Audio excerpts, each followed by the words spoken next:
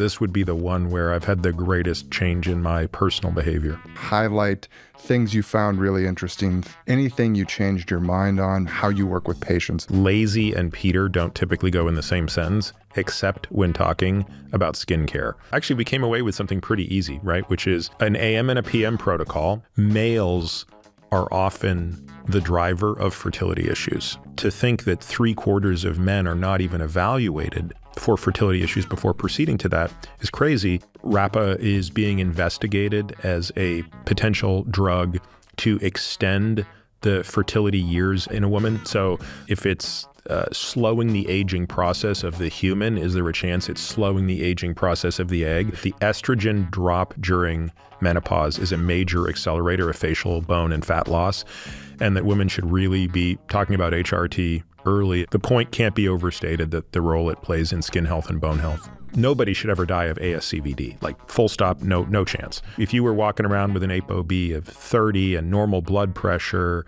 um, and you weren't smoking, I mean, it's almost impossible to die of a heart attack. Truthfully, honestly, I think a good life is what makes a good death. Anybody who's listening to this still has something that they can do about it. Thank you for viewing this sneak peek of an Ask Me Anything episode of The Drive.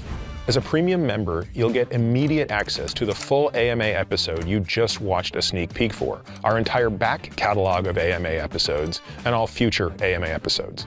You'll get longevity-focused premium articles packed with actionable insights, You'll get unrivaled show notes for each and every episode of The Drive, and much more. Become a premium member today at peterattiamd.com forward slash subscribe. Thank you.